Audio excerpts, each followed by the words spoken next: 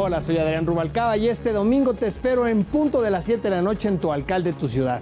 Platicaremos con la presidenta municipal de Tizayuca, Susana Ángeles, acerca de los retos y logros de su gestión, así como los proyectos que ha puesto en marcha y las propuestas que aún están en el tintero. No te lo pierdas a las 7 de la noche en tu alcalde, de tu ciudad, por Heraldo Televisión.